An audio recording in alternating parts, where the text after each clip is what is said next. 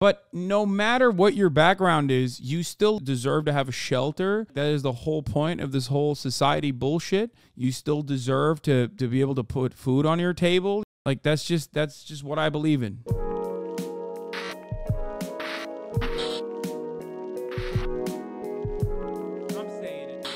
Compared to the dude who went to Appalachia, well, I mean, first of all, yeah, kind of. Peter Santenello does a good job of humanizing a lot of the people that he's covering. Get out of there. Except, you know, he's also, you know, these are the people, these are white people that he. All right, let's walk. What is this, a mine shot then? So Peter Santenello does a pretty decent job of humanizing the people that he's like uh, covering, even though he just has some kooky opinions that I disagree with. Here, deep mines. That is some crazy work. Work. You're just under here in the dark. But I don't want to know what his fucking coverage of like homeless people would look like either, to be fair. We say what we mean and we mean what we say. No BS. No, there's no bullcrap here. When they pass away, it's like a fish being out of water. You would tell the young people just to leave? Last week, my husband worked 73 hours in the coal mines. If the flame burn a certain color, they know they were methane. Miner know it's time to get out of there. I was the first person in this county that was ever prescribed Oxycontin. This is all family? This is all family. That's the truth to that right there. It takes a rare breed for coal mining.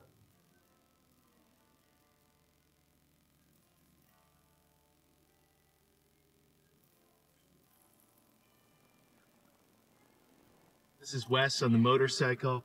He met me at the hotel because he said, Hey, there's no easy way into my place. You'll get lost.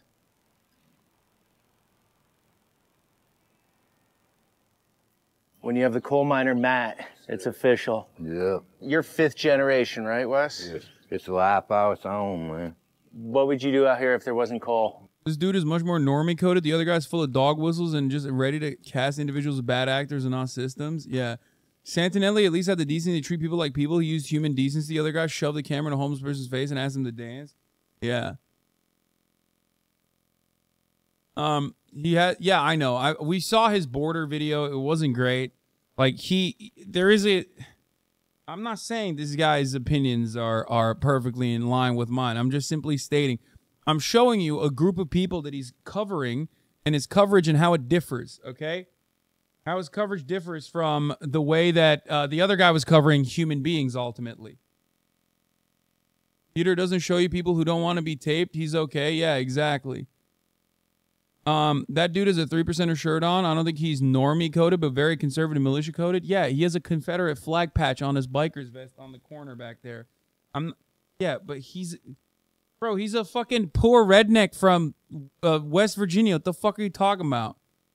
We're not talking about him being normie coded. We're talking about Peter. Okay.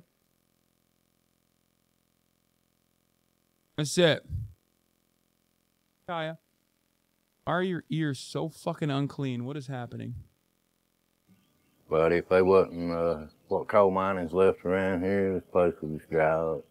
Dry I mean, up. It already has. I mean, pretty much. But these look like all pretty well taken care of homes. Well, this is all retired coal miners. 95% of the men you meet here, they all went to coal mines when they was 18 year old. Some of them younger. My dad started when he was 17. so they go right out of high school into the mines. Yeah.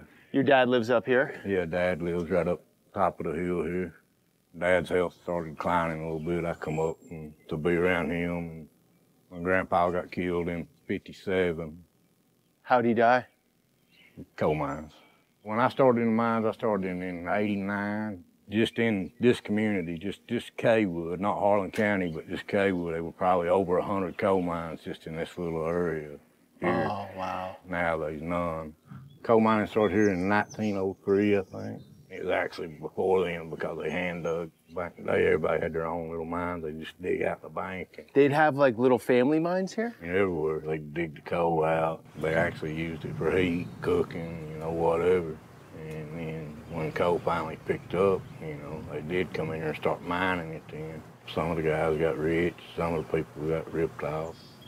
I got a 12 year old, he's probably still asleep, but You don't want him in the mines, or do you when he no, grows up? No, no, no, no. His education comes before everything. His academics is unreal for him to just be going in sixth grade. He's got awards hanging in there. I mean, medals from uh, the Governor Scholar Program, and So you're super proud. uh, oh my God, so it's been five generations, and you're okay with it stopping. yeah. My oldest son, he actually, he actually went into mining, and he, he worked. When I decided to come out, uh, which I know that I had black lung, and I was already seeing a black lung doctor before I come out, but the mines was declining, and I'd already talked to my son. Uh, and told him, you know, I said you need to be looking towards something else. Now today he uh, he makes almost two hundred thousand dollars a year. Doing what? He is uh, electrical. Uh, he works for one of the lineman companies. Black lung. Explain that to us. From the sounds of it, you work long enough down in the mine, your lungs turn the color of coal, Yeah. right? Well, what it does, it scars your lungs. Also, a lot of the rock, when it gets in there, the doctors, when they describe it to you, they say it's like little small shreds like of that this guy is, and it just cuts. Uh, he, he values his son's Oh, education. scars. Dad had six, let's see, five brothers. He's the only one living, and the sister's husband also. They worked in the mines, and uh, we've watched every one of them die. And the doctors describe it as when they pass away, it's like a, like a fish being out of water. I mean, you go in there and you know it. Eventually, that's that's what's going to happen. But when you got a job that's paying, when I started, I mean, sounds crazy. I made eight bucks an hour, but back in, in uh, uh, back in '89, hell, that was good money. Minimum wage was probably what four dollars an hour or something, three seventy-five, something like that. So really, I mean, you started out making good money, and uh, it as it went along. I mean, when I come out, I was making thirty-two dollars an hour as a foreman.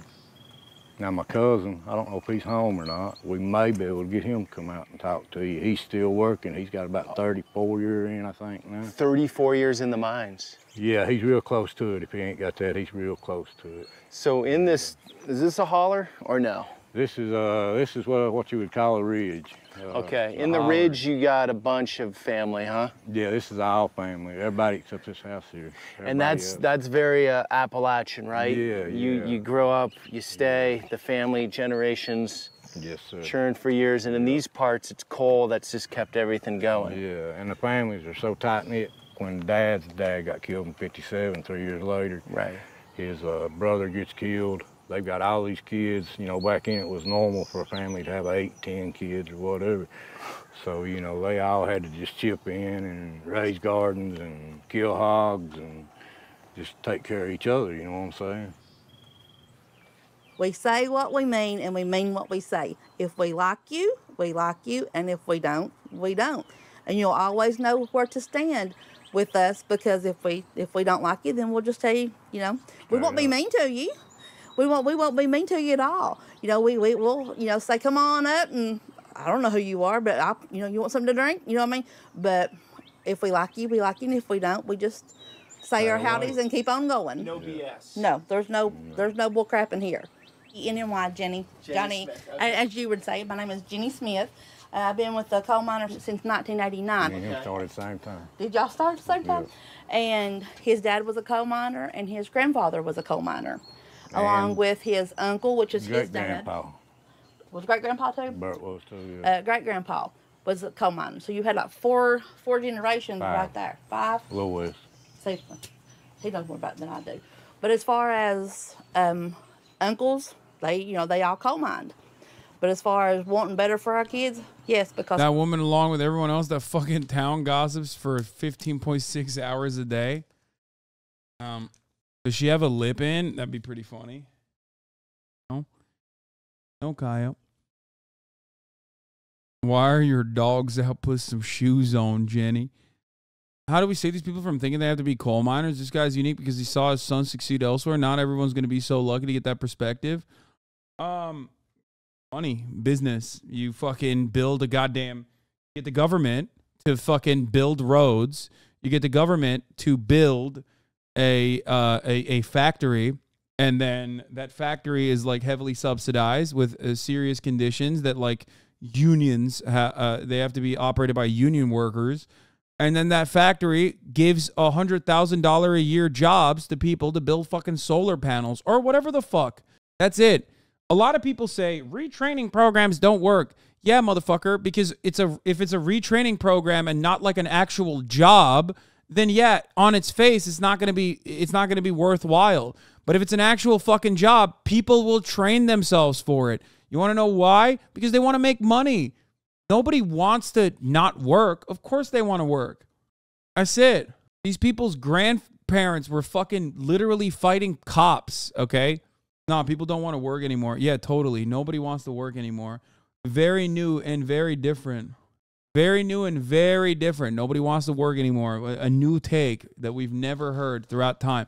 Bro, go back to the fucking 17th century, okay?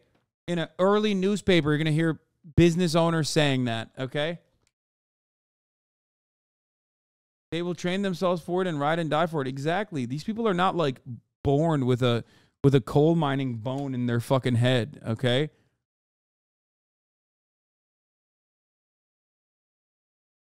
There's no like hereditary uh, uh, genealogy at play here that forces them to work at a coal mine. It's because that has historically been the main industry that they associate with putting a fucking roof over their heads.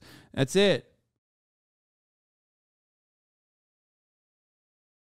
I'm an apprentice millwright on layoff for three months. I very much want to work. Yeah. Coal is just something that's just not promised. So that's got to be hard for you because it keeps the lights on, it pays the bills. It's good A brief issue of capitalists crying about that nobody wants to work anymore. Yeah, I saw this on Twitter. Someone just yoinked it. I love when people do this. They just yoinked some dude who like meticulously put together news articles on a Twitter thread and just posted it on Reddit. But yeah, 1894. Next winter, it's becoming apparent that nobody wants to work these hard times. None want to work for wages. The reason for food, scarcity 19, in 1916 is that nobody wants to work as hard as they used to. Capital owners have been saying that, okay? They've been saying that. You know what's funny?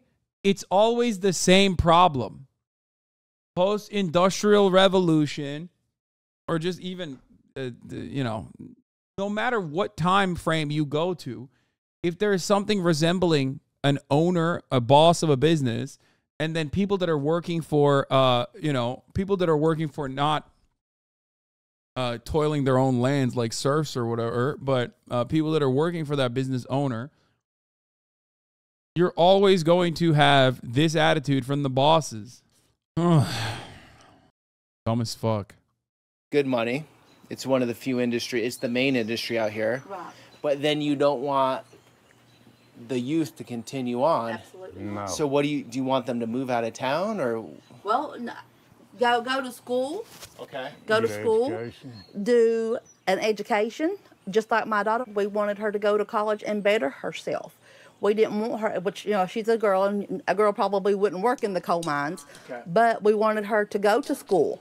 Um, Why not? 16-year-old Dorothy? Brother, we don't want him in the coal mines. We want him to go to college and make something of themselves. So that that just uh, that just recently changed. Then this whole get the family out of coal. No, actually, my dad begged me to go to college and not go to coal mines. Oh, okay, okay. uh, because of the way his health declined. I mean, my dad's been down now since what, 15 years at least. at least. Last week, uh, my husband worked 73 hours in the coal mines. That's normal. Why? He's literally one of the better travel guys who do these. He's a cornball liberal, but at least he listens and doesn't make a spectacle. You probably watch Bald and Bankrupt and a bunch of actual criminals who, but hate on Peter because you're ignorant. Yeah, I think Peter also certainly has had a change of attitude since COVID on certain issues. Let's be fucking real now. But he definitely is like, he ain't a lib. I think he used to be, but now he's definitely not uh, as much of a liberal as he used to be. Um, I think because I've seen, dude, this guy is so fucking kind to his uh his his subjects, okay? And I- mean subject in like the interviewer sense, okay? He is very good at treating the people that he's covering with kindness and you would not expect a person who is like a reactionary to do that in a lot of these in a lot of these videos like uh like going to the to the uh, Bangladesh uh, neighborhood, you know what I mean, in Michigan, and covering the food and talking to the people there. Like he's very.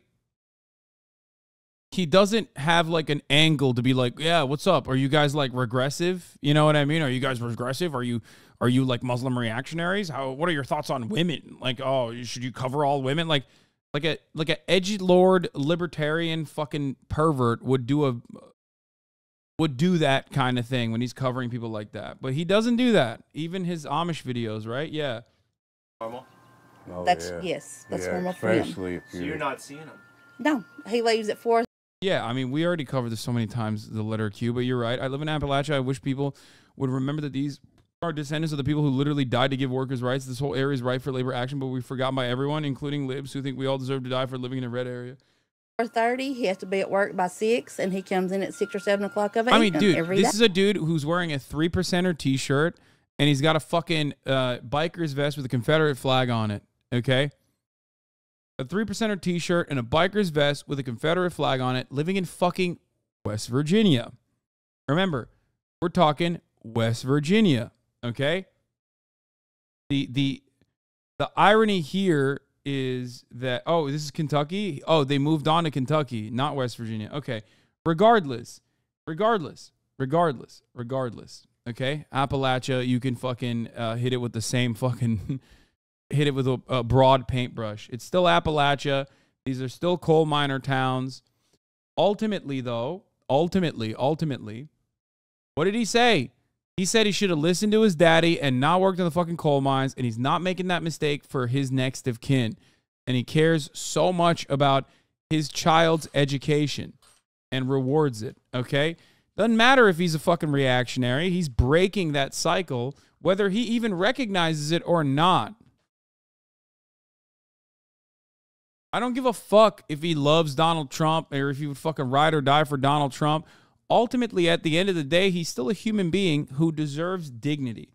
And given the circumstances, these people are uh, definitely more dignified in their existence, especially because of the mythology of the white coal miner and the coal miner in general, but also uh, also due to uh, the the like also due to the reality that like there was at least some level of uh, of of wages that were afforded to him at a certain point in time and he has a house and shit like that. But in in a way, there is no difference between that guy and the fucking homeless guy that you're shoving a camera in. The only difference is he has a home, okay? He's been fucked over by the systems in the exact same way that the homeless guy's been fucked over. The only difference is the homeless guy doesn't live in Appalachia, wasn't a coal miner, probably a fucking uh, uh, you know veteran in many respects. Uh, in many of these circumstances, that's what happens. Okay. But no matter what your background is, you still deserve to live with dignity. You still deserve to have a shelter. Like that is the whole point of this whole society bullshit. You still deserve to to be sheltered from the elements. You still deserve to to be able to put food on your table. You still deserve to live a life of dignity. I don't give a fuck uh, if you're wearing a three percenter patch or a Confederate fucking flag. Ultimately, you still deserve health care. Okay, like that's just that's just what I believe in. No matter what. I uh, but uh, of course there is a difference between this guy and all of the black people, for example, that live in uh, urban environments that have been purposely redlined. His shelter and his privacy and the social safety nets that he has, albeit they're very slim to none, close to none, is still afforded to him in a way that is not afforded to the average black person under similar circumstances. So that's another thing that you also have to remind yourself of because ultimately America is still a white supremacist country. However, and black people in the chat will absolutely agree with this take at least, a country that fucks over their white working class folks like this, well, they're going to fuck over black people even harder, okay? Uh, but you were glad a Nazi offed himself and called his libs for not agreeing?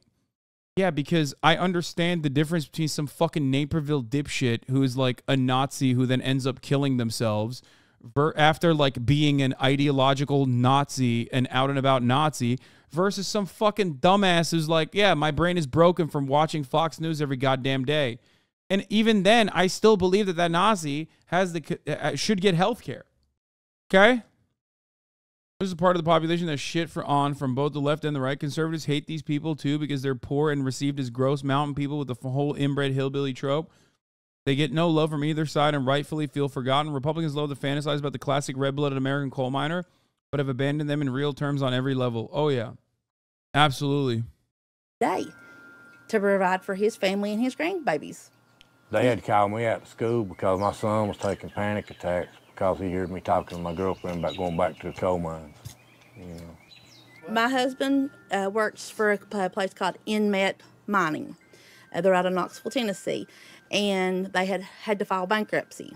And we're in limbo right now, trying to see if somebody else is going to come in and take over the place of employment that he works, or they're going to just shut the doors. But they are doing it the right way. They did give us the Warrant Act as far as like the layoff letters that we've gotten in the mail. Um, they've they've done everything. The only thing that they're that they're that they're not doing is letting the miners know for sure what's going to go on. And they won't. They And like So I is that it, it just that happens a lot like when the the mines are busy?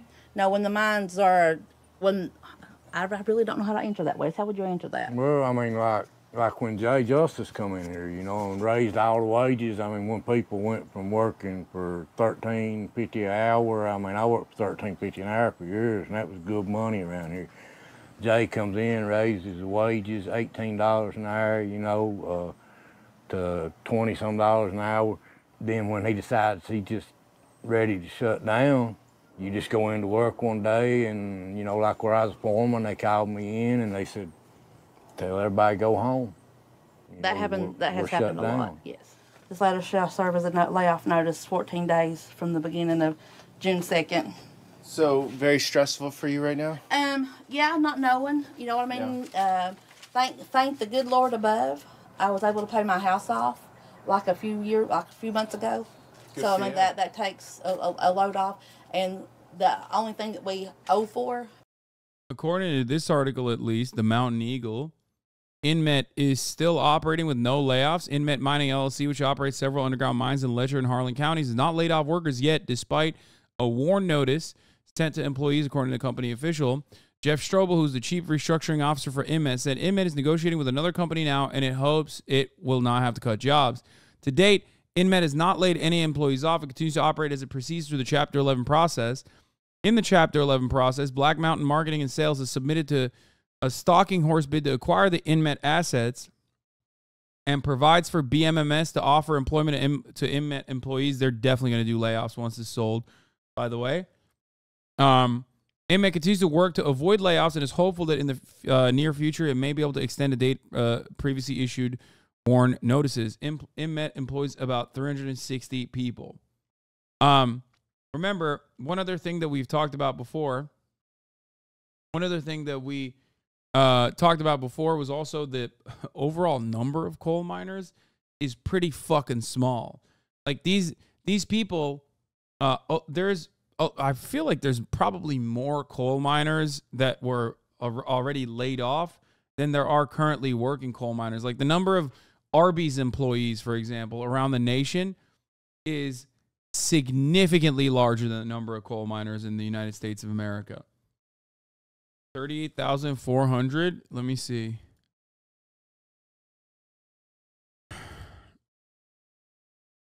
Yeah, 38,400 uh, in the United States of America. How many Arby's employees are there in the U.S.? Yeah, see? 80,000 employees. Arby's has 80,000 employees. Just remember that when we're talking about this issue. So, um, in many respects, it's a forgotten, uh, it's a forgotten business. Okay. We don't have towns that Arby's based economies though. Why do they have so many employees? Who the fuck goes to Arby's? The reason why I used Arby's as an example is because it's like a less popular franchise. It's like one that's dunked on, and even then, it still employs twice the amount of fucking workers. You know what I mean?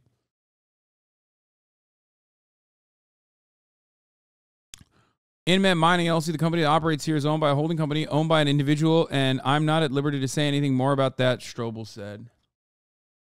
Nice. All right, let's continue with this. Is the pleasures Meanwhile, we should also continue forgetting to run the top of the hour ad break and then run it now. 23 fucking minutes in. Okay? Yeah, I don't give a fuck. It's my birthday. You can't get mad at me. You can't give me a low score for my segue here. Here's the German ad break now. of life, such as a side by side, a boat, a pontoon, you know what I mean? Wait, you forgot the race car. Oh, no, don't be throwing off on the race car. Yeah, that, that's, that race car provides our living. That's what he drives back and forth to work every day. okay. That's what he drives back and forth to the coal Gotcha. mines every day. You're saying this is in the last four or five years? Well, I suppose the last 10 years, things have changed as far as crime and drugs and stuff like that here in our area. Probably back in 1993, Farias, thank you for 94, 95, even in the early 2000s, when you could leave your windows open and even your screen doors open. But as time has went on and drugs has come into the area, you are for sure to lock your windows and close your doors and lock your personal stuff up because if you don't, you don't never know when somebody is just going to drive by and maybe take them. I mean, In this neighborhood, that looks quite calm. yeah. Wes, you the same? Well, I'm a little different. I leave my door open 'cause I just like the fresh air. But at the same time, if you come in my door, you know, the corner is going to be the next stop you make. You know, You got a good shotgun in there? I've, I've, I'm well protected. I'm not going to let nobody take nothing that I've worked for. Uh, I'm not going to let nobody come in my house and bother my family. They know too. They know who they can steal from and who they can't. I mean, they like prey on like older people or you know what I mean. It's just like, Yeah. That's harsh. And, so and do they know like they know like where y'all go out of town a lot. I mean, no doubt they know people. I mean, hell, it's But Caleb. again, but we People are we are protected also, um, and we won't discuss how means are that we are de- de- de- protected. But you come on our property, we will know it, one way or the other. And once once we find out, we will prosecute to the fullest if we need to. And like, if they go out of town, I drive by here several times a day. Yes. If I go out of town, they drive by. Dad's always home. He's looking out for everybody. I mean, That's my husband. He might be able to. So he has one of his random days off. Yes. He got he got today off instead of the Fourth of July. They're gonna work him on the Fourth of Yeah, July. I'm gonna work him on the Fourth of July. That's not very patriotic. Oh, Lord, it's a great drive. Can I sit through there? No. Something tells me you're not Damn, he's got the Polaris, baby. gonna off-road this too hard because it's uh, No, in perfect shape. Custom-made doors. They actually make them. I didn't want to pay seven hundred dollars for a set of doors, and she was on marketplace and found them for three hundred and fifty bucks. Look at that. So it's the American edition, huh? Yeah. Damn, this one looks mean, brother. Hell yeah. You gotta. What's it? That there light the flag up on the light bar, so it don't blind everybody. You can actually run it with that right there on and not get in trouble. There you go. There's some lights. Oh, geez, you guys are ready for Miami Beach with the uh, the kid under there, huh? Don't be a pud muffin. Pud muffin. Yeah. So you're saying don't wear Just regular working class folk, by the way. Wait, what the fuck do you think these guys are? I mean, he has a Polaris and a fucking Jeep, but like, what, what do you mean? What, you think this guy's caked? You think these guys like a- actually living the high life? This is literally the the exact same thing that racist people do when they see like a black person that's living in like uh you know shitty conditions, but they have like nice clothes or like a nice car or something, and they're like, why did he spend his money on this? Like, what do you mean, bro? He's got nothing. It's one of the cheapest areas in the country, and their house has been paid off for two whole generations. Exactly. There are some parallels between miners and military in that respect.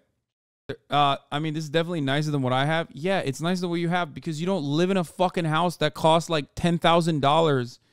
Uh, uh, w- uh, when your grandfather fucking built it with his hands. Okay, that's part of the reason because you don't live in West Virginia where uh, the telephone service cuts off. You still use a telephone, and the telephone service cuts off every now and then for weeks on end. a seatbelt. Yeah, don't worry. you'll be good. Well, I have Kentucky's best driver. Why, why would I need it out here? Have fun. Thank you.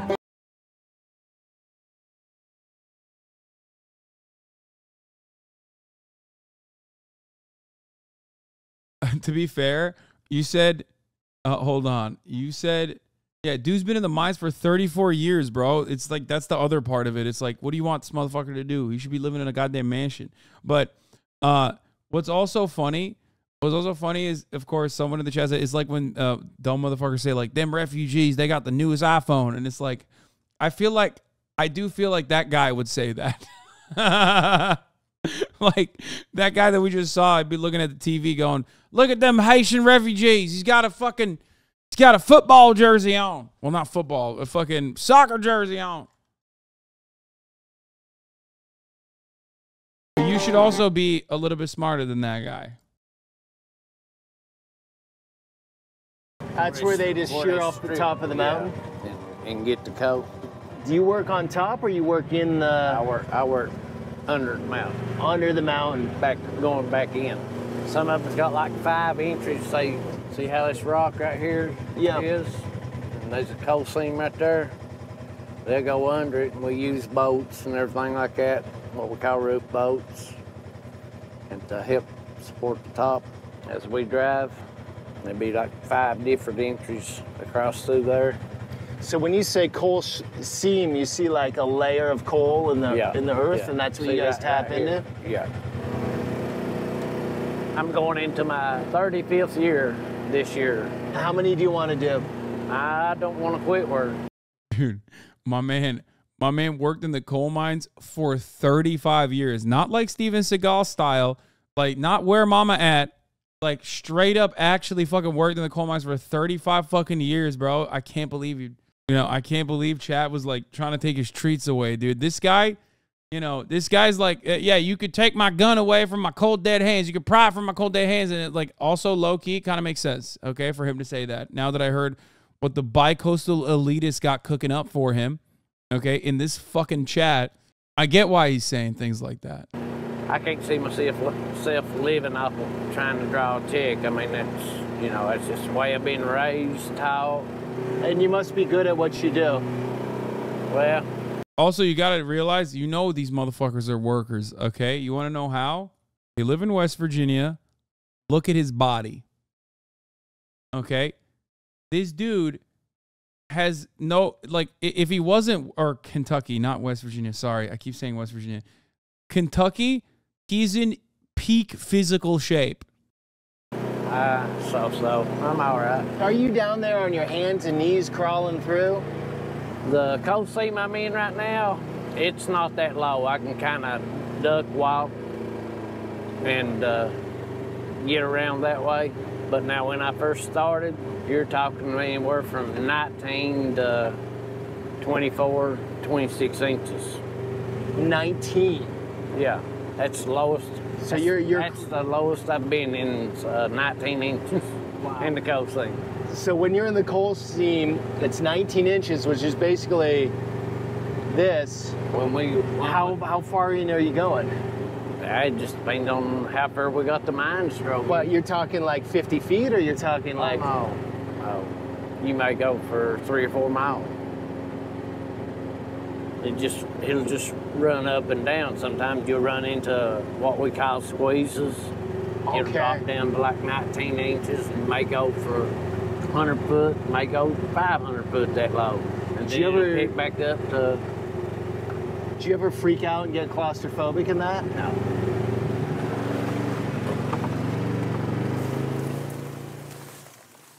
So what is this? A mine shaft down here? deep mines, what we call shaft mines when you go down. Okay. straight, you know, straight down into the ground. It's just kind of what we work in, what I work in is the deep mines.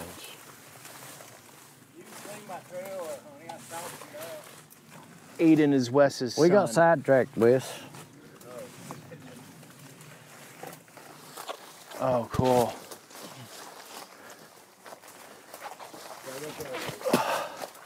There it is. Oh, it gets cool immediately. Yeah. Wow. That's like a 20 degree difference right Yeah. here. That's that's the thing about coal mines too. You're it's uh, maybe ten degrees difference year round. Okay, what's about- the what's the temperature was when you go down into the mines?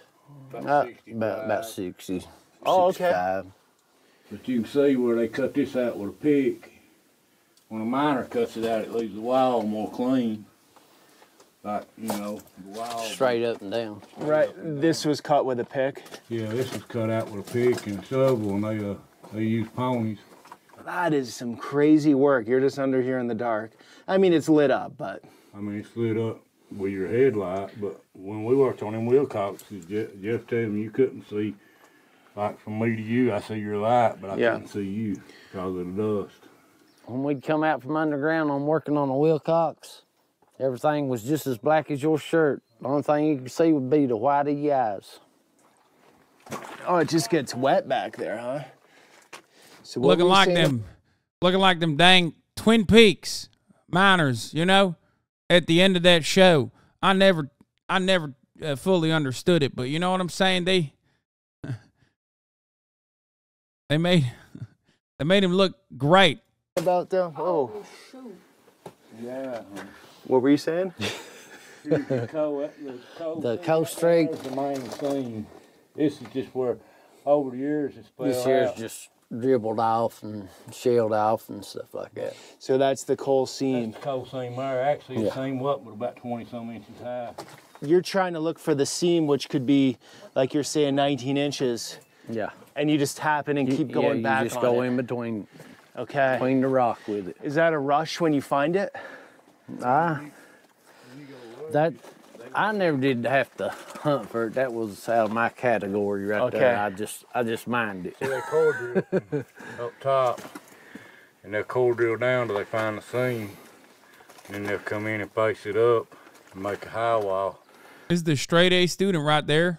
Which back in the day and time they dug this mines out, they just Bet your ass he wants to play fucking Fortnite right now, not be on the goddamn camera with daddy. well see right there's the coal. They they just followed that coal. Poor kid. He's Yep, like, right. Daddy, talking about coal again. Want to be home right now, dunking on IT professionals, living far away from me, trying to get a number one victory royale. Pop, pop. Right there. Yeah. Okay. just Dug it out. Daddy, I don't care about this kind of mining. I said I like Minecraft. Man, that's how Papa got killed. Uh, he was uh, they was loading in a break, and my uncle brought the pony and the, the load out, and Papa uh, stayed back to uh, load another car so they would have one ready for the next morning. And uh, he got killed while Uncle Larry was on his way out. You Left told me eight it kids. collapsed. It did. It fell in and killed him, honey. It killed Papa. I've got the thing where it says coal miner dies and leaves eight children or whatever. And the only thing Granny got out of it, they made old tombstone out of. That's how they make it out of cement. Mm-hmm. She never got nothing, did she? No kind of fencing, nothing.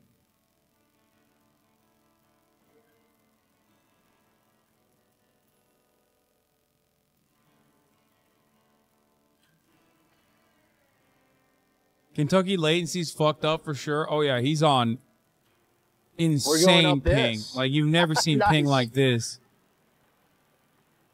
Woo!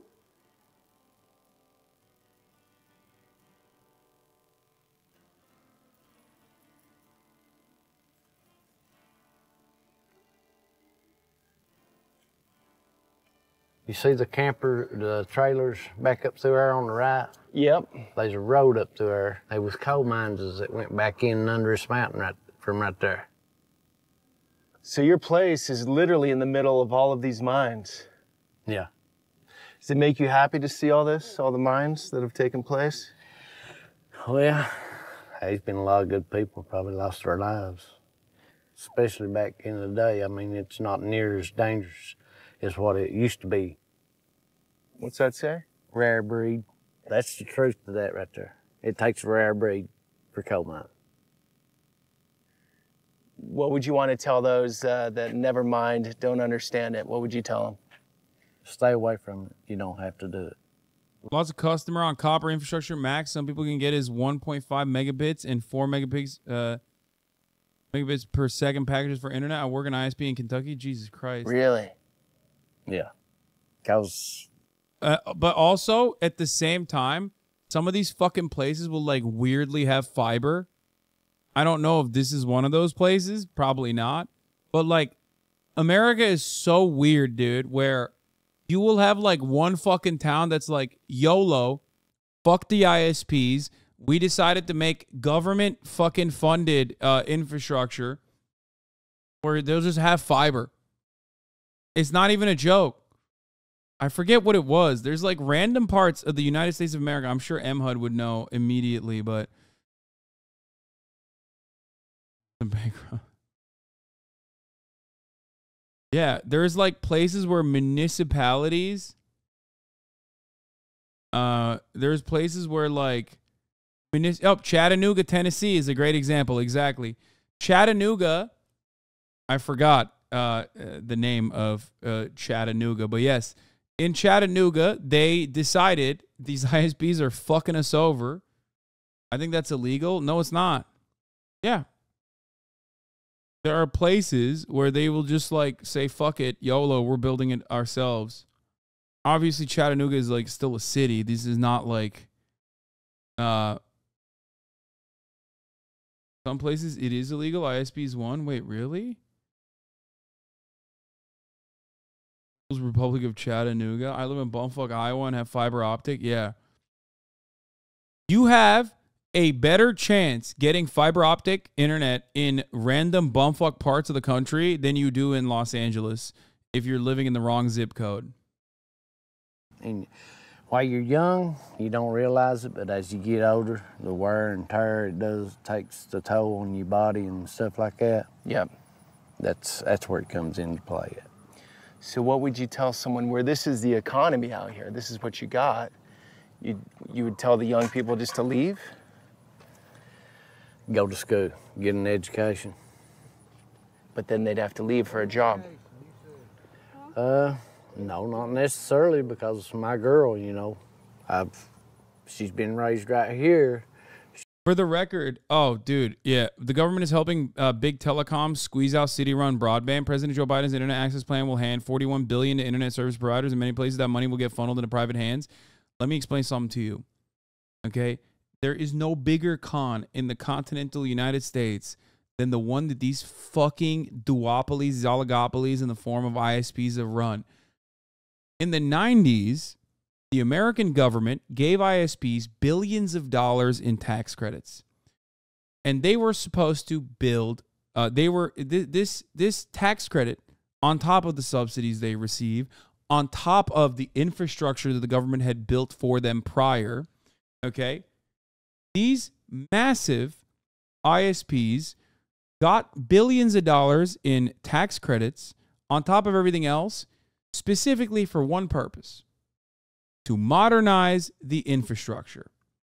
And they did not do it at all. They took the fucking tax credits and they never modernized the infrastructure. Billions of dollars were given back to these fucking vampires. And then they kept getting more. And nothing has nothing has uh, uh, has has happened in in terms of punishment they need to go to prison. Like, what happened to the money? What do you mean they yoinked it? They probably fucking did stock buybacks. I suspect.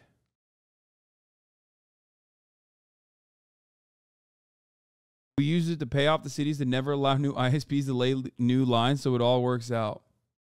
Yeah, yet fucking Omi in a Hellcat got five years, and the very same multinationals that actually wanted to, that actually have now merged with the fucking ISPs in many respects were punishing my man Omi in a Hellcat for aspiring to be in a Hellcat. Okay? Trying to get a private company to build infrastructure is like trying to explain socialism to Twitch streamers.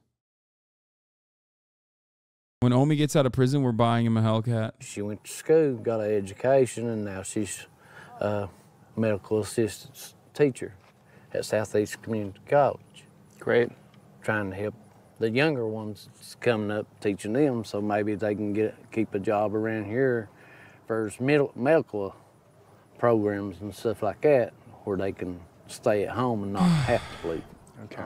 I gotta pee. So in a way, you're you're very proud of your your work in coal mining, but you're also rational, saying don't do it. Right.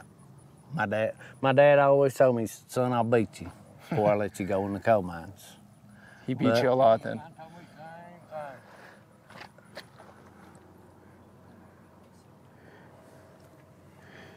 He beat you then, No, or he didn't stay to his word. Mm. He didn't stay to his word. he, he seen that I wasn't going to leave these hills, and he knew that if I was going to have anything, I was going to have to be a coal miner around here. And part of you loves it though, right? Being in these Oh, hills, Yeah. getting in there, doing Yeah, the hard could- work. I couldn't, I couldn't stand being out in the city or sitting behind a desk. I'm just, I'm too, what you say, too active a person to try to Yeah. sit still. How are your lungs? Where I can move. How are your lungs right now? Because you look really healthy. I wasn't Um, expecting this, to be honest. My lungs is uh, last uh, thing I done. They said I was in pretty good shape.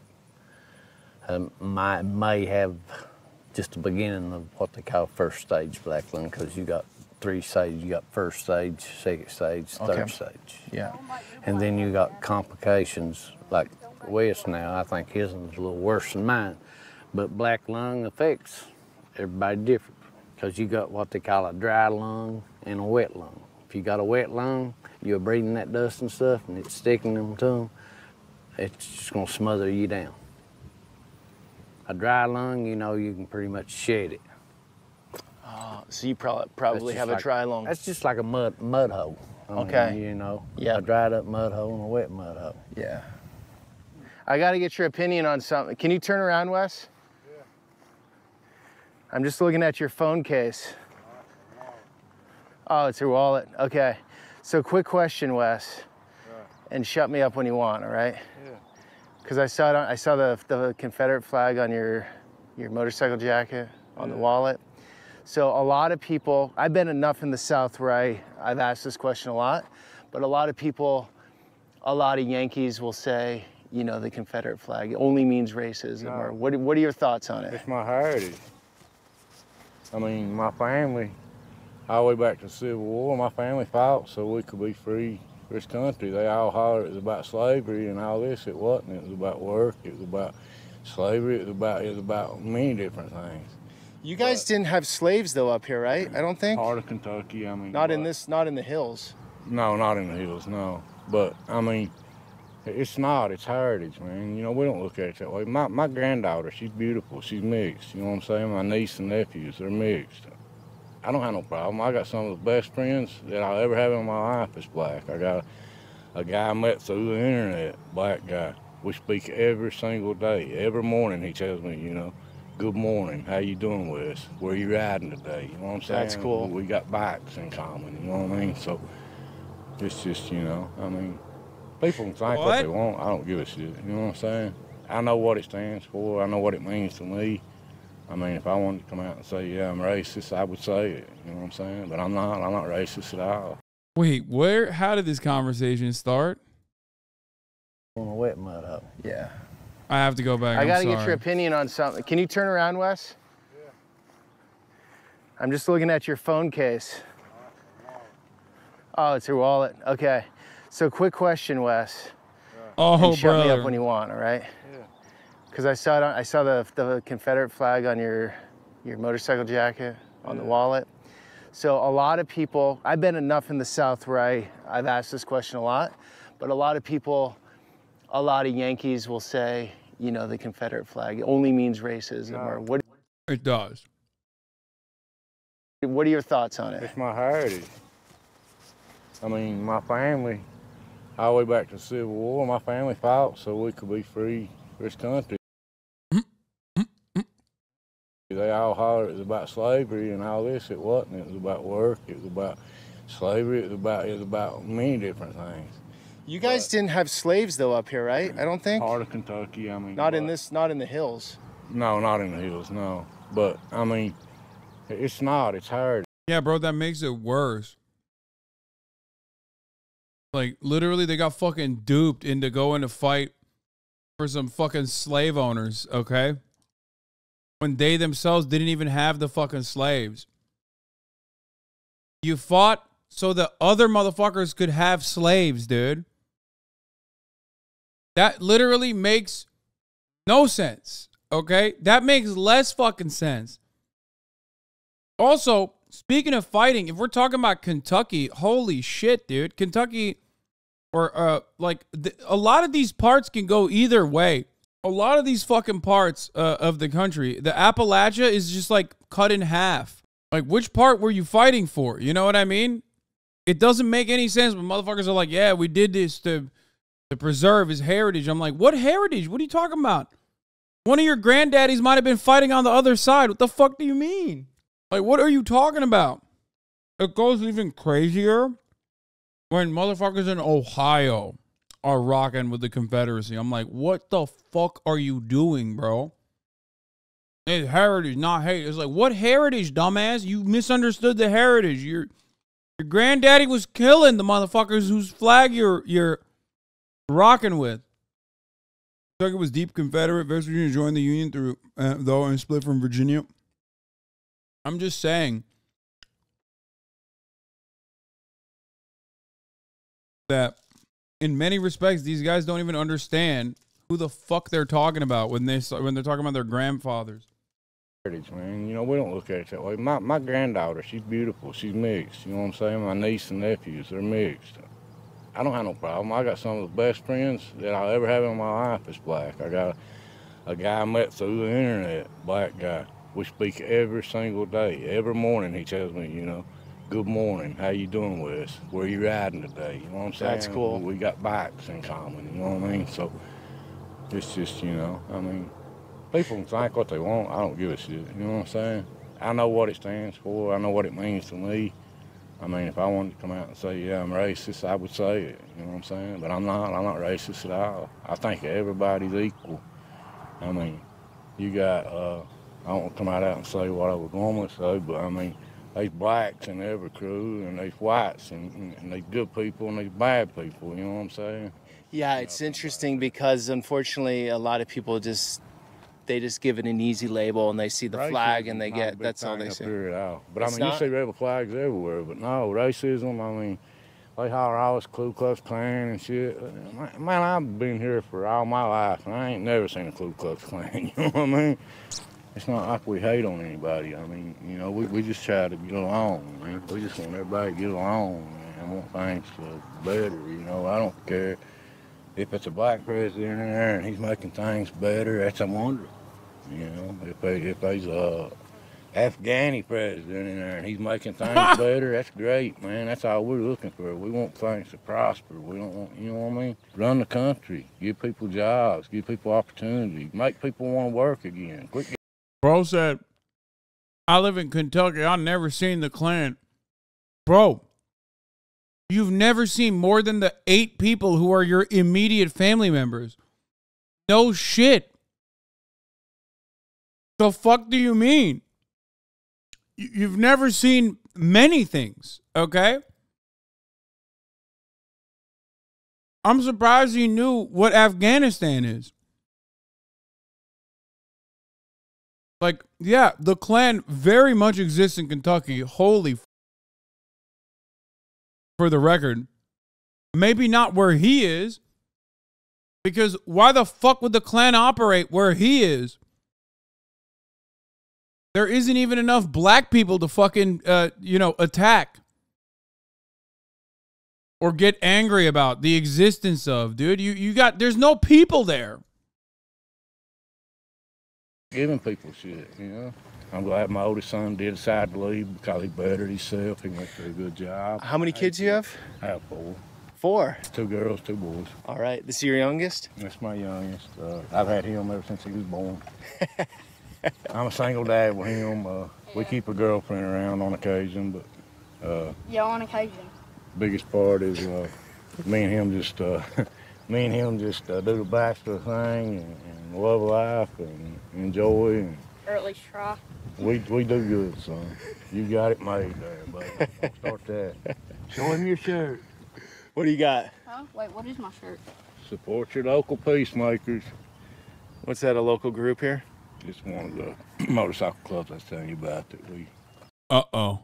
Also, I just want to show you guys something here. This is un- unbearable. Okay. This is unacceptable. I don't know what to do about this situation. Okay. At a certain point, it's like, enough is enough. I literally can't even fucking stand. Like, out of control. Just absolutely fucking out of control. She's awake. She's just refusing to move.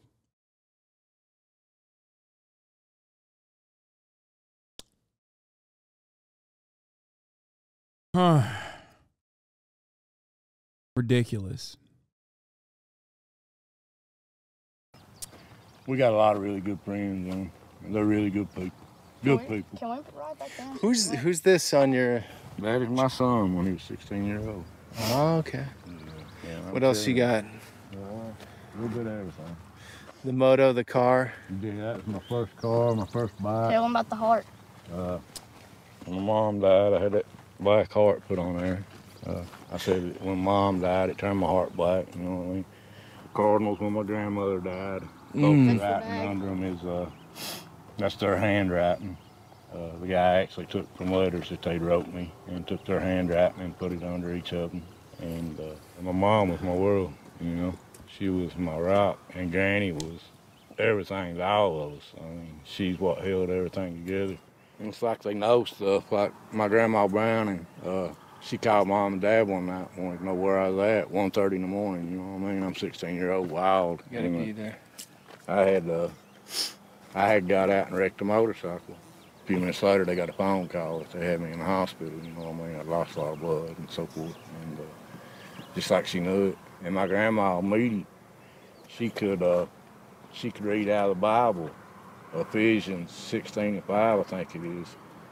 And if you're bleeding, it would stop bleeding. Now people's gonna look at this and say, "Look, this dumb." They will, you know what I'm saying? But I mean, it's it's it's true. I mean, it's true. It, right up here the other day, had a guy to shoot himself. And, uh, You made homemade when the state police come up, he was like, uh, "Why did you bring a Bible up here? What the hell is that Bible for?" And I said, "You ever hear of Ephesians?" And told him the verse. I said, "You know," I said, "Dude's a free bleeder. He's dying." You know. And they said, "So you brought a Bible instead of a tourniquet?" Said, "What you gonna do? Preach his funeral?" You know, just kind of redneck cop anyway. But, but uh, I don't know. That's just the first thing I thought. I keep a Bible in my truck, so I grabbed a Bible. I'm not no big Christian or Bible thumper or nothing like that. I just, you know, I was raised. Uh, most people in our class is raised to believe in church and so forth. Is you know. is um, church attendance down a lot these days, actually the church or is, is or is it pretty busy here? I mean, actually here around Harlan County, When actually the went to, churches uh, are doing pretty good, ain't they? Yeah. The one I went to yesterday had. A lot of younger people going to church. It used to have like five, and the other day it had 22 kids. Yeah. At church? saying. Uh, yeah, at church. Yeah, so I mean, you know, it's not exactly the Bible Belt. I mean, it's not, you know, they don't run it down your neck or nothing like that, but they will come out and they'll talk to you and, you know, they'll, they'll ask you. They won't push it on you. They'll, you know, Right. it's tell just them good about, people. Uh, man. tell them about how Bag used to read the Bible to her plants to make them grow. yeah. Bag was something else, baby boy. Surprisingly, it worked. So, family family ties, strong family connections are everything out here, huh? Everything. Everything. You guys are pretty. I would die for anybody in my family today, tomorrow. So either you're born into a good family here where they're tight, or you're born into like some drug, messed out Come on, man. Come on. Why you gotta be like that, dude? Jesus Christ. family, and that's got to be brutal. Buddy, even I just be honest with you, uh, I got hurt in the mines back in '94. Was put on oxycontins when they first come out. I got on the oxycontins, and my family stood beside me through every bit of it and seen that I got clean and got Yeah, there you go, dude. Exactly. Exactly. You're first of all, you're talking to a coal miner in Kentucky. The likelihood that that dude was also, uh, you know, treated for his fucking grave injury with uh, a metric ton of pharmaceuticals that turn people into those meth and uh, heroin addicts. is high. I just, I don't know. I don't know why you got to be like that. You know what I mean? You don't got to be like that. got straight and stayed right with me. They never pushed me away. They, How long were you on Oxy for? uh, for a while, doctors kept me on about six years. Did they?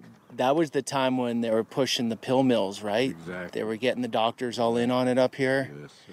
and this was like ground zero for that, right here, Right here in West Virginia. West Virginia.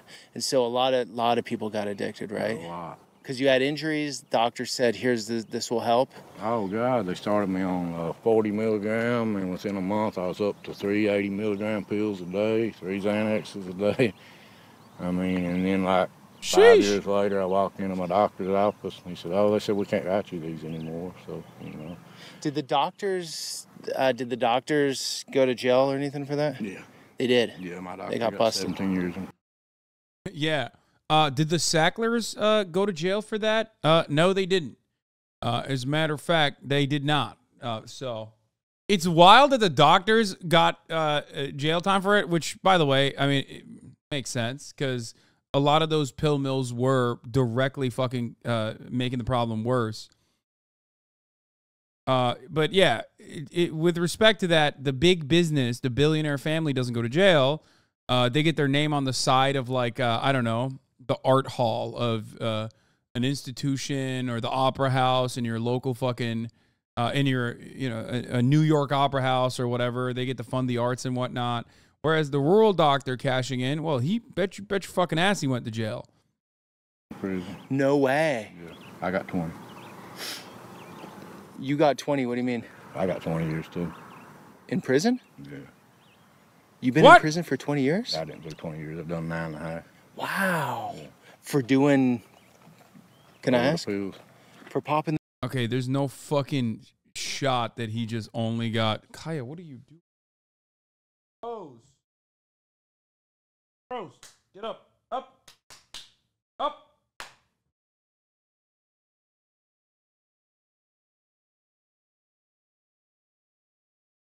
No way he was only doing he's doing 20 years for just he was probably helping the doctor, I would assume. There's no in the way. pills. Well, well, when they cut me off, I mean, you're so sick, you don't know. And so I decided, you know, hell, I've got all these pills put up. So if you can make a buck, you know what I mean? So you're selling oh. them. Yeah, there you go. Yeah, he was selling them. He said the letters they wrote me before, where you think he was? I don't fucking know. I didn't think immediately prison. The fuck? You see top of the hour, do you immediately think ad break? Some of you do, and most of you forget. You know what I mean? Because at the top of the hour, there's a three minute ad break. Here's the three minute ad break now. I honestly, this sounds crazy, and I know people ain't gonna believe it out there, but I honestly, honest to God, I mean, I didn't even sell it to the guy. I gave it to him Uh, because he said his wife wouldn't take his kid to the hospital or something unless she got a pill, and I give him a pill. And next thing I know, they got me in court, got me in jail, got me in court, and nine and a half years later. wow. Yeah. And, uh, that's So for half that a pill. just that just destroyed the region a bit, huh? All that oxygen. It hurt it. I mean, it hurt it really bad, and then it had gang Yo, what's up? What happened, bro? Talk to him about drug dealers now and druggies. Go ahead. Come on. He was literally selling drugs. Where is the genuine disdain you have for people who do drugs and even worse, God forbid, sell drugs? Kind of hard. Kind of hard, isn't it? You just said he didn't sell them, Haas? Yeah, okay, bro. He literally did say he sold them. He said he wanted to make some side cash because he was desperate. Nefarious, thank you for the 10 gifted. Gained its way back and was doing great. Everybody was doing good. Uh, That's not what he said. He said he just sold that. The one he got busted on wasn't selling it. For the record, I don't even think that, like, I, I mean, I get it. I get why people sell drugs. That's my entire point. They got him for giving one away, though. Sorry, misunderstood. Dude, you're not good. You're not getting 20 years for giving a drug away. Okay, he was definitely he's in a biker gang. He probably was selling it, but a lot of people forget. Okay, a lot of people forget that I talk about this all the fucking time. Drug dealers aren't selling fucking drugs because they're just magically bad people who want to do bad in the fucking world. They're doing it because in a lot of instances like this dude, they're in a shitty predicament where they need to fuel their addiction, okay? Or they need to they need to pay for their addiction. Or they're doing it to get out of fucking like criminal abysmal levels of poverty. I think it's great to see a dude like this, uh, especially on this journey, uh, you know, get introduced to him, develop a liking to him, and then slowly but surely start to unwind some of the other aspects of his existence because this is probably the only way that chatters will ever see people like this as real human beings reacting to stimuli, reacting to their circumstances, reacting to their environments. Right? It's never it doesn't work the way you think it works. What Valky raid? Thank you for the raid. Valky Ray.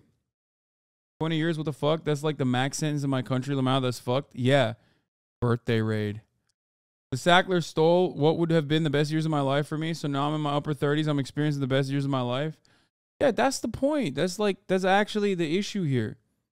That's why I have so much uh, respect for uh, Big Mike. Said he only served nine and a half years. Yeah, dude. 20 years is fucking ridiculous.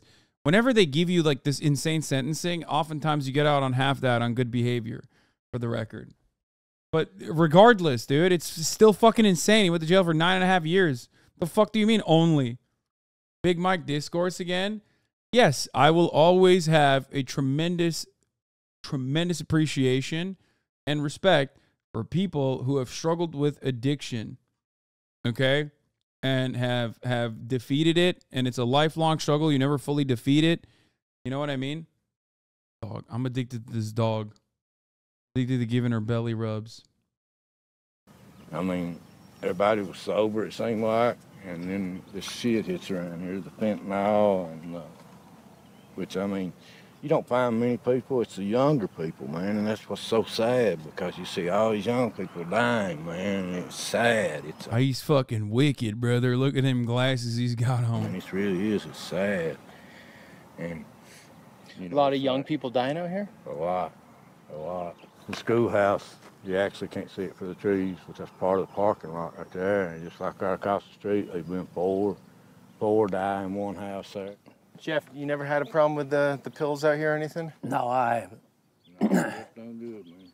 Never. So what'd you Biggest do? thing, biggest thing I've probably done is took a few shots of moonshine and drank beer. I was the first person in this county that was ever prescribed Oxycontin. The first person in the county to be prescribed OxyContin. Sir. Yeah, Dr. Ali Swap. He's still in prison. No, he's out. I think he may have died. So in your guys' days, it was you had Bro, bro, bro, bro, bro, bro, bro. Come on. Come on. You can't just only be talking about the fucking podunk doctor. Please, please use the brain muscles a little bit further. Take it one step further. Be like, you guys know who the Sacklers are. Do you know Purdue Pharmaceutical? I'm sure they know too. It's not even like, and even if they don't, it's like, come on, think about it. had an injury in the mine. You needed uh, pain relief, like Oxy, right? They'd load you up on pain pills and send you back to work next day. Okay, but now you're saying the young people now they're not in the mines, so they're just getting the They ain't drugs. Nothing. They're getting dope and they're they're making money running and selling it for somebody else. You know what I mean? And, It's not. You could go and probably the cartels and stuff sending it in here. They say Louisville's a hub for it. You know what I mean? Louisville's what two and a half hours away. Louisville's a hub. Should be more rehabs. I mean, I think there should be more, you know, uh, sober living homes, stuff like that. Prison don't This guy's so. Yeah, look at this, dude. My man, my man's rocking with the Confederacy while simultaneously talking about rehabilitation over incarceration, brother. You know what I'm saying? The fuck is this? Treat addiction like it's an illness. Don't incarcerate it. Wonder why he has such a what would be considered an incredibly endlessly liberal approach. Which, by the way, again, Hasan, can you explain thinking past the doctor, genuinely confused, want to learn? Um, so there's been a lot of writing on this uh, that you can fi- find. There's also, uh, I think there was a Hulu show as well that was like a direct recreation of real events that transpired. But the Sackler family owns a company called Purdue Pharmaceutical. Purdue Pharmaceutical created Oxycontin and lied to American doctors and greatly marketed Oxycontin as a non addictive drug, as a non addictive pain relief uh, uh, drug. Now, of course, it was profoundly addictive, as we all know, you know, many years later. Um, they lied and said slow release was going to make it safe. They lied on every aspect of the drug in and of itself. They also then went and created um, institutions within universities. They built think, think tanks, as they often do. They built institutions within universities that were like uh, that specifically focused on pain management and pain relief. Those little, those little like uh, uh, things that you see when you go to the doctors. Like sometimes they'll show you like a little smiley face, all the way to like an angry face, one to ten. That is literally from the Sackler family's uh, think tanks on pain relief. They paid, yeah, the pain charts that you see, the pain scales that you see was created by the pain management, pain relief institutions that the Sackler family directly played a role in creating. Um, and then they not only lied about the addictive nature of the drug itself, but they also paid doctors to pump it. There were pill mills. It was like a it was an industry that was great because guess what? I mean, heroin is super addictive, dude. Once you get hooked on it, you really want it. They also made drugs that are uh, supposed to uh, save you if you're overdosing. Yeah, or or I think they do Narcan, not Suboxone, or do they also? Like they do the methadone substitute, which is uh, I think they do the methadone substitute. I always get it confused. Or they either also own uh, a patent for Narcan, which is what you take, uh, which is what you're supposed to be given when you are overdosing on heroin, or uh, the the other opiate substitute that it, you're supposed to take to get off of it. Um, but yeah, they did so much. They they basically created this industry of heroin, and uh, they got millions of Americans addicted to it. They killed so many people. They still kill people to this day. Um, and they did it above board. You know, they did it in a legal way. Uh, how because they're rich, and that's how it works. So the kickback schemes and false marketing is ultimately what got them where they are today, which is, of course, a couple billion dollars less than where they were, but still not behind bars. Meanwhile, all the bumfuck doctors that that worked in these goddamn towns were also getting the kickbacks, and they certainly went to prison. None of the Sacklers actually went to prison. But let me tell you something. Now you might say, Hasan, these guys are wealthy billionaires. They weren't involved directly in marketing this product. No, no, no. The Sacklers were uniquely evil. I need you to understand. In a lot of circumstances, the billionaire failed children don't actually have any say in the operation. They are still morally culpable and should be punished. But this is one of the very unique circumstances where, yes, some of the family members were absolutely hands on involved in the marketing initiatives and hands on involved with all of the schemes. So, you know, just remember that when you think about how many people have died and how this conversation has turned around from like actually uh, the the real villains to like I don't know uh, Mexicans are bringing in fentanyl over the border.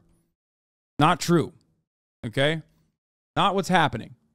That is not the real reason. There's a market for it now, which is why it's coming in.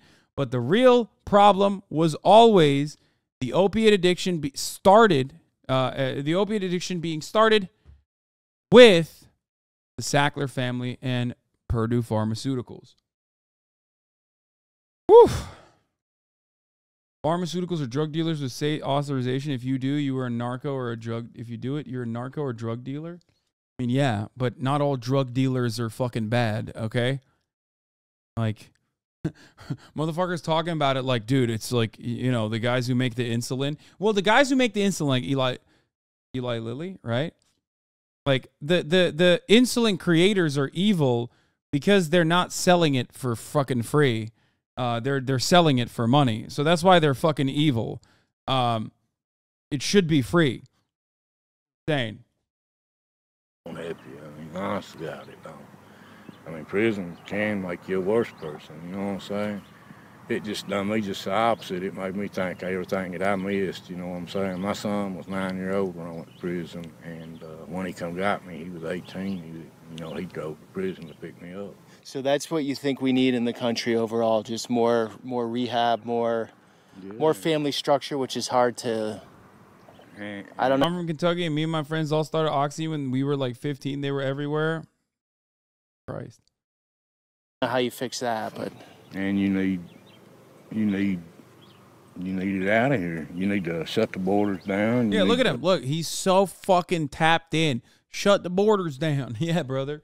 It's the Mexicans that that prescribed you the the oxycontin. You know what I mean? That you also sold. You literally sold the drugs. Oh my god. Okay, this is where I lose it because it's like, yeah, I went to prison, but like it's fucking bullshit that I went to prison. Also, you shouldn't go to prison. Uh, for for doing this, which I don't even disagree with. And then he goes, "Oh, but the Mexicans over the border, those motherfuckers, they can't." what, what what's the argument? Only white Americans are allowed to fucking sell me oxycontin and pills? What the fuck? Oh, Uh, I mean, like I said, I'm not racist towards nobody, but this is America, man. You know, think about the Americans first before you start bringing all these other people in here. Worry about the problems you got here right now and, fix them, and then worry about everybody else. I mean, take care of America, man. You know what I mean? This might not be nothing to nobody. I mean, to me, it might not be nothing. I mean, look at it. It's beautiful. You got family. I mean, I could not. yeah. I mean, his it, it's funny because like he's not doing the classic "them immigrants took our jobs" shit. Because like there ain't no jobs to take out here. So, and there ain't no Mexicans out there either. So he's like, notice how every American problem always can be reduced to like immigrants are responsible for it, the Mexicans are responsible for it, which is like hilarious. But but because he doesn't have any jobs that Mexicans took from him, specifically, he's like, you know, fucking, they're dealing the drugs. Bro, he was a drug dealer. The immigrants did take his job. Well, I mean, the immigrants were his suppliers at that point. If he's talking about the Mexicans, knock on any door out there, and I guarantee you, they feed you. You, you're not even from around here, and Right. I guarantee you, you go to any door around here and say, Right. "Man, I'm thirsty. I need a bite to eat." You know what I'm saying? yeah. Could, could you give me a drink of water? Could you could you, could you spare a bologna sandwich? You know what I'm saying? And I guarantee you that 99.9% of them would take you in, and set you down, and feed you a meal, give you something to drink. You know what I'm saying? No, uh, this trip I started in West Virginia. I've felt nothing but that from the locals. One you guy bought my meal, just one stranger bought my meal at a restaurant. That's everyone- here paying forward.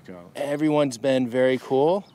And I think that's what doesn't go out to the world about Appalachia, like deep Appalachia like this. We're in the thick of it. And those connections and the way people are to each other, they can be. I mean, you're either loved or hated, I think, is how it right. goes, right? But you bring that on yourself also. You get what you give, right? I mean, if you give, you get. If you show somebody uh, a support and show them that you really need it, they'll help you, and they will. I mean, honestly, there's times that my family should have just turned their back on me and said, you know, we're done. But instead, they kept pushing. This is the old grates that were in the house. They would have two-sided chimneys, and this would be like for the family room, and in the main bedroom, they would have on the other side, and you'd put your coal in here, and at night you would uh, bank it, what they call banking. In other words, they'd get a good fire going, they'd put ashes on top of it, and it would hold heat all night. Okay. And that's what you would heat the house with. And like uh, the old buck stove we got in here, they would use them in the houses for cooking and so forth. This actually an old lawnmower. They used to use the ponies to pull the coal out of the mines and got all old pony shoes. Ponies to pull the coal out. Yeah. In here we got mainly mining stuff. Uh, I'm sorry we've got electricity off out here right now, but they call these breast augers, and you can see Okay. that's the that's the bit, and some of them's a lot longer than that. But the men would, two men would operate it. and One man would put a plate against his chest, Okay. and they would drill into the coal, and then they would be able to put shots off in it. Then So drill in, then put a stick of dynamite in, right? Uh, This is just all old gli old bottles and stuff. My great granddad bought this property in 1942, and this is just all the old bottles and stuff that come out of the camp houses. And like we was looking at the old toy car. Uh, where I Oh, yeah, this? Yeah, That's like a four pound yeah. toy car. And that's some of the fossils that's found in the mines. You find a lot of fossils in the mines. What is that? Do you know? That's a tree.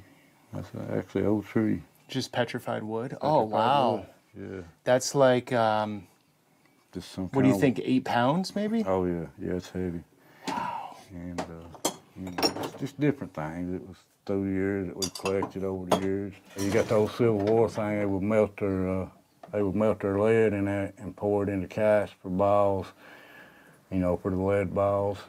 Yeah, you know, when we were going out shooting and hunting, you know what I'm saying? And uh, This is uh, you'd heat this up with on coal of this- iron. on top of the stove here. This is what old buck stove All right, like. you just did that, right? Yeah, you just set it on top of it. Then when it got hot, you could iron with it. It's got a striker on the bottom, and you ignite it. And when you would go into the face of the coal, if the light went out, you know that there was an oxygen deficiency because you know fire won't burn without oxygen. So a miner know it's time to get out of there. You know what I mean? And then if the flame burn a certain color, they know they were methane, so they know to back out. Did you ever have a problem with oxygen in the mines? Uh, we cut into one old mines, and it wasn't on the map, and uh, it flooded us out, and uh, we had low oxygen, but we were really deep, and it took a while to get out, but everybody got out all right, and everything was good. Super scary. Uh, not so much. I mean, we that wasn't the first time we'd ever cut into works, but You Uh, just got to stay calm, huh? But my son was like 17 at the time, and he was mad as hell because I was kind of helping run the mines, you know, kind of helping the guy out. And uh, they had a boss up that didn't have no knowledge whatsoever, and he got madder than hell because I went back in, you know what I'm saying? And to set pumps and stuff, and uh, oh God, he took a fit, you know what I mean? And, So you guys would sacrifice yourselves for these companies in a way, huh? Well, I mean, like I would have sucked, I guess, sometimes. You know, like I said, I missed five years uh, uh, when I started bossing. I missed first five years I bossed. I didn't come home for Christmas, uh, Thanksgiving, whatever. We were in the mines, had so many pumps in it. The pumps had to be made every day. And he was in jail until his son was 18. So how was his son 17? He has like five sons, dude. I think he has like five kids. I'm sure, you know, through the government. And I would have to go out on Christmas Day and Thanksgiving Day and pump water and check pumps all day and make them where I was foreman. Two sons, So- two daughters. but uh, I kind of regret that in a way because uh, just got to spend my grandma's last two years with her for Christmas and stuff. That was her birthday. Uh, she lived here. Uh, we actually She lived right here. Yeah, she lived right here, and then we used to have an old old camp house that sat right here, and they were. Uh, Believe it or not, at one time I think there was 19 houses through here, In this valley here. just straight up this holler. So this is all family? This is all family. Everybody up and up there is family.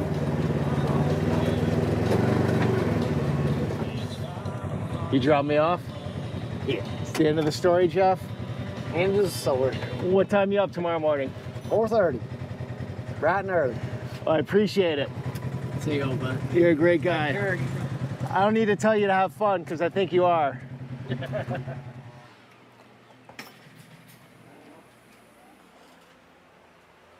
Some medals that he got for academics and ball and Oh, these are your medals here, Aiden? Yeah. Governor scholar and That one's for future problem solving. We did it in district, but we lost. And we went to region. Dang, they got a participation trophy. Don't hear him complaining about that. Aiden got a participation trophy. He seems damn proud of it.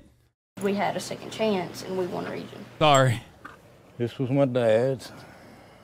Like I said, dad got covered up. You can see where it knocked his. Someone shooting up there? Oh yeah, they shoot. They just go. They got like a little range up where Oh, they shoot at.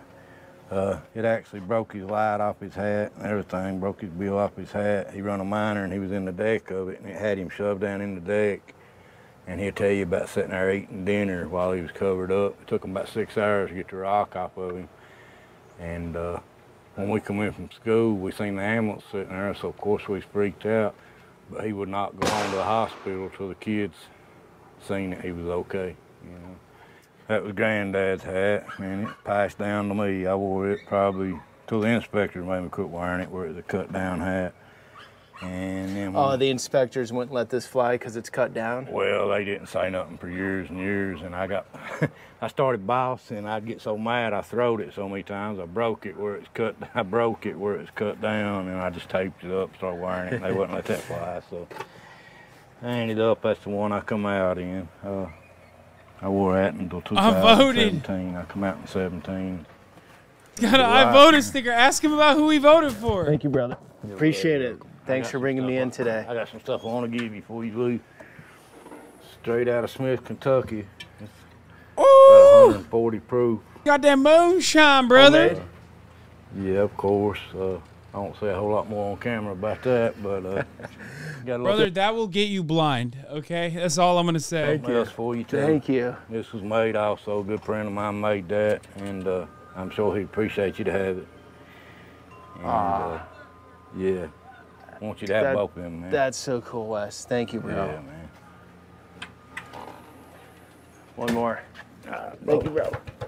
Good to meet you, man. Great to meet you. Thanks for Find you back. being brave and willing to take me in because I know most people that come with the Oh, camera, your you're, you're guys are sick of them, Nah, that you said, and uh, you're sick of media to- coming in and making you guys look terrible, Don't right? wanna look stupid, man. You know what I mean? We're good people. Yeah. You know. It's very evident for anyone that wants to, that's just truly curious. Simpler, just a little simpler, simpler life than most is used to. But man, I wouldn't have it no other way. All right, guys, another view into a world most of us have no understanding of. a few big takeaways for me. Uh, first, This was a great two-parter. Shot. I mean, he did a great job. Peter uh, Santenello did. firstly, it's complicated. He's really good. You know, Jeff is in coal, it pays for the lifestyle and everything they have out here, but would never want their kids to be in coal. And while it's gone for four or five, maybe six generations on out here, with this generation, it seems like they want it to stop in that sense. But then they're torn because that's what they know. They're tied to their land, deeply rooted with family members here couldn't imagine being anywhere else. So this is what pays for all of that to happen. And secondly, I know coal is a controversial I would say this is one of the main differences between like EU living and this, right? You go to West Virginia, you go to Kentucky, you go to parts of Appalachia. These dudes are living on an entirely different planet. You go to EU, the most rural ass fucking places of EU. There's still going to be, there are still going to be, uh, they're still going to be accessible. If you ever get on a fucking train in Germany, in France, in England, there's still absolutely fucking areas that are accessible. That is not true at all. Wait, what? How is that not true at all? I'm not talking about Eastern Europe. I'm talking about Western Europe, which is significantly more comparable to motherfucking United States of America.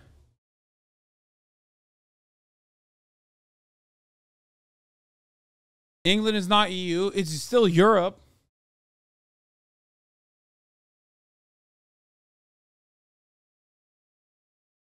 And while their situation is not great either, okay, while their situation might not be great either, it is infinitely better in comparison to someone living in Appalachia. Don't listen to chat. I've lived in rural Europe and it's very different from rural America. Bro, Rural Europe is very different than rural America. Rural America is closer to rural China, okay? Than fucking uh, rural Europe. Like those places that we watched yesterday when it's like doo doo doo doo doo doo doo the the fucking white guy that goes and lives in a fucking faraway town with like uncle and he's eating pig heads and shit. That experience is unironically closer to the fucking Appalachian experience. Anyway, energy form. I love clean air and water, just like most people. Uh, I learned that it's in the steel making process. I don't know it through and through, but from the human side of things, um, look, if that's your way of life, uh, whatever industry you might be in, say expand rural Turkey and rural US. I mean, rural Turkey's worse. Infrastructure is less like at least these guys got like even in the most podunk part of town, there's still like some semblance of a fucking road. In rural Turkey, there's always going to be places that is like inaccessible. It's just dirt. You know what I mean? The reality is that American infrastructure still heavily rests on the laurels of the New Deal. Like they built, they built the solid infrastructure uh, that a lot of these other developing nations never were able to do. That's why you can't compare it to fucking Mexico. We can't compare it to Turkey. You can't compare it to all these other places. It's just that the issue is it's crumbling and they're not doing enough to actually fix it. You know what I mean? Silicon Valley and create tech and imagine obviously this can't happen but all of a sudden tech's going to be gone and your industry will be gone and then what are you going to do and whatever you might be in whatever profession that's sort of a scary thought i would think so these people are living with this daily as in the letter comes in the mine's going to shut down and maybe they'll be ousted until the next job appears uh, but i think it's a stressful worry that your work, your talent, your knowledge, your Chatters who think Europe is massively bigger than the US. Oh yeah, I never said that like uh land use is comparable. That's why I think China is a better comparison with a significantly uh worse starting point than the United States of America. You know what I mean?